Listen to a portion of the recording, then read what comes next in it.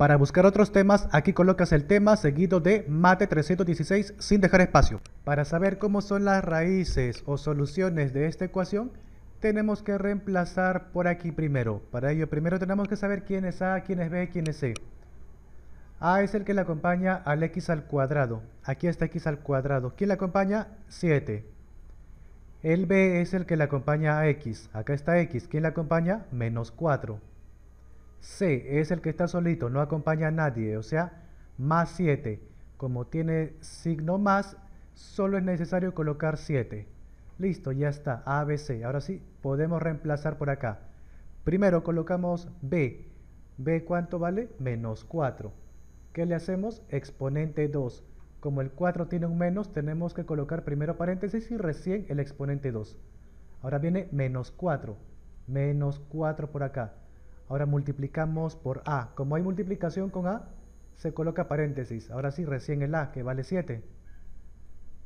Cerramos paréntesis y ahora viene la otra letra, el C, que vale 7.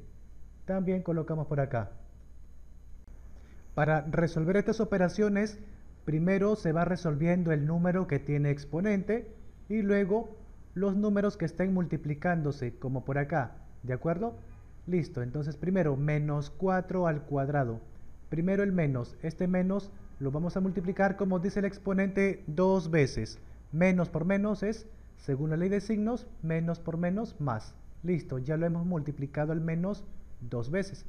Ahora, al 4 también, dos veces. 4 por 4, 16. Ya está. Ahora viene menos.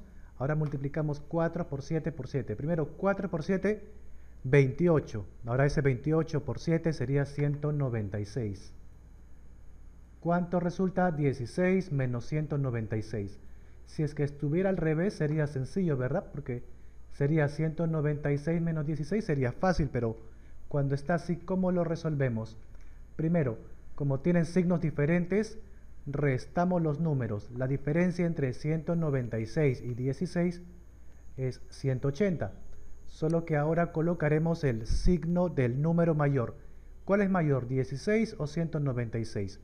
El mayor es 196, así que colocamos su signo que es siempre el que está para este lado, sea el menos. Listo. Menos 180 sería el resultado de esta operación. Ahora verificamos, a ver, ¿ha salido igual a 0? No, no ha salido igual a 0. Mayor a 0? Tampoco, porque acá tiene un menos, es negativo. Menor a 0, menor a 0 sí. Este número es menor a 0 porque es un número negativo. Entonces, estamos en este tercer caso. Entonces, ¿qué decimos? Las raíces son complejas. Podemos colocarlo acá en un cuadrito. Decimos, la ecuación tiene raíces complejas, o sea, números complejos. Fin. Más videos en esta página cuyo link te lo voy a dejar ahí abajo en la descripción. Hay temas de matemáticas de colegio, de instituto, de universidad. Lo único que tienes que hacer es hacer clic donde dice videos aquí y aparecerá la lista de reproducción con varios videos que necesitas.